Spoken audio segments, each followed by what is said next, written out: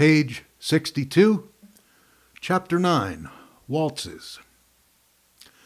Let me begin by going down just below the second paragraph on this page to where it says, To prime you up for this waltz chapter, let's all chant together.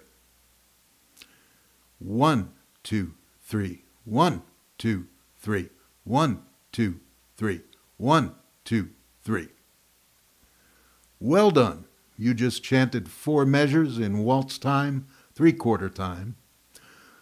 Notice that the ones are in a larger font size to help you see and hear how the natural accent of a waltz is on the first beat of each measure. In bluegrass rhythm, or backup playing, 4 4 4 quarter time is often described in a rhythmic solfeggio chant as boom chick, boom chick, one, two, three, four, boom chick, boom chick, etc. And you do this once around for each measure of four beats. That is to say again, boom chick, boom chick. On your banjo, the boom is the thumb picking a note. The chick is the two available fingers plucking the second and first strings simultaneously. So it's boom chick, boom chick, boom chick, boom chick, boom chick, boom chick, boom chick, boom chick, etc. That's four quarter time. Next paragraph. On the other hand, the typical backup chant for three quarter waltz time is boom chick chick, boom chick chick, one, two, three, boom, chick, chick, etc. Once around for each measure.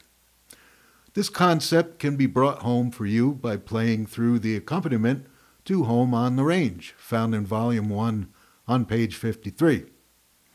But just for our own sake, let me do a few rounds of waltz rhythm. So the boom is generally starting with your third string. The chick twice is the pluck of the second and first strings. Chick, chick. So let me set that up. Boom, chick, chick, boom, chick, chick, boom, chick, chick, boom, chick, chick, boom, chick, chick, boom, chick, chick. If you want to get a little fancy with it, every other measure you can alternate the boom or the picking hand thumb. In other words, boom, chick, chick, boom, chick, chick, thumb on third, chick, chick, thumb on fourth, chick, chick, boom, chick, chick, boom, chick, chick, boom, chick, chick, boom, chick, chick. Getting what is known as an alternating bass line with your thumb. Okay, now we'll skip down to the three quarter time exercise at the bottom of page 62. I'll play it twice through. It's a chord progression in the key of C in this case, a C and a F and a G. Prepare your C chord. One, two, three, ready, play.